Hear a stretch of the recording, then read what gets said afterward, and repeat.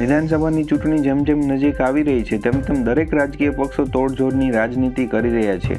ત્યારે નિઝર તાલુકામાં કોંગ્રેસના પૂર્વ ધારાસભ્ય રહી ચૂકેલા પરેશ વસાવા ભાજપમાં અત્યારે હતા અને ભાજપનો સાથ છોડીને હવે આમ આદમી પાર્ટીમાં જોડાયા છે.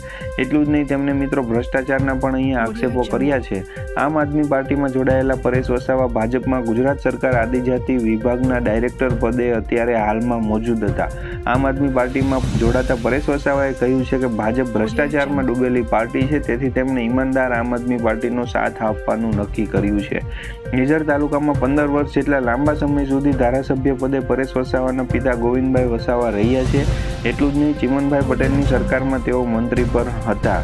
ત્યારે પરેશ વસાવાએ કોંગ્રેસ બાદ ભાજપનો ભગવો ધારણ કર્યો હતો. ભાજપમાં પરેશ વસાવા ગુજરાત સરકાર આદિવાદી આદિવાસી વિભાગના ડાયરેક્ટર પદે પણ અત્યારે મોજૂદ હતા. પરંતુ તેમ છતાં ભાજપ છોડીને તેઓ અત્યારે આમ આદમી પાર્ટીમાં જોડાયા છે. પરેશ વસાવાએ મિત્રો એવું પણ જણાવ્યું છે કે અમે વર્ષોથી બાપ દીકરો રાજકારણમાં છીએ પરંતુ ભાજપમાં હાલ જે ભ્રષ્ટાચાર ચાલી રહ્યો છે તેટલો ભ્રષ્ટાચાર અગાઉ ક્યારેય નહોતો. આદિવાસી વિસ્તારમાં ચાલતા ભ્રષ્ટાચાર અંગે મંત્રીઓને અવારનવાર લેટર લખીને જાણ કરી હોવા છતાં પણ કોઈ નિરાકરણ આ બાબતે આવ્યું નથી.